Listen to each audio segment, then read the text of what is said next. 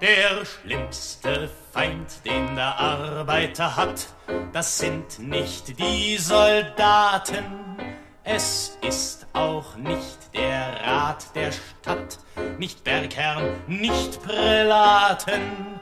Sein schlimmster Feind steht schlau und klein in seinen eigenen Reihen, in seinen eigenen Reihen.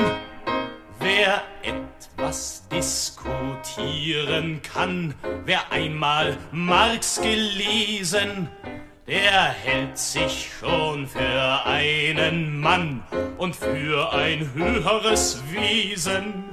Der ragt um einen Daumen klein aus seinen eigenen Reihen, aus seinen eigenen Reihen. Der weiß nichts mehr vom Klassenkampf und nichts von Revolutionen. Der hat vorm Streiken große Angst und Furcht vor blauen Bohnen.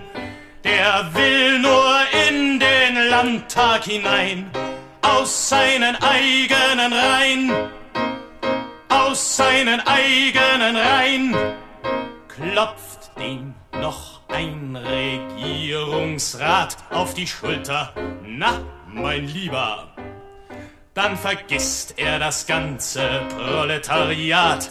Das ist das schlimmste Kaliber.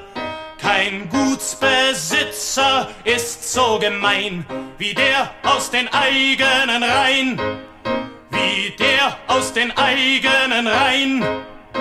Passt auf, da steht euer Feind, der euch hundertmal verraten den Bonzen loben, gern vereint Nationale und Demokraten.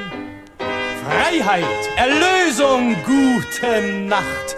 Ihr seid um die Frucht eures Leidens gebracht. Das macht, ihr konntet euch nicht befreien von dem Feind aus den eigenen Reihen. Von dem Feind aus den eigenen Reihen.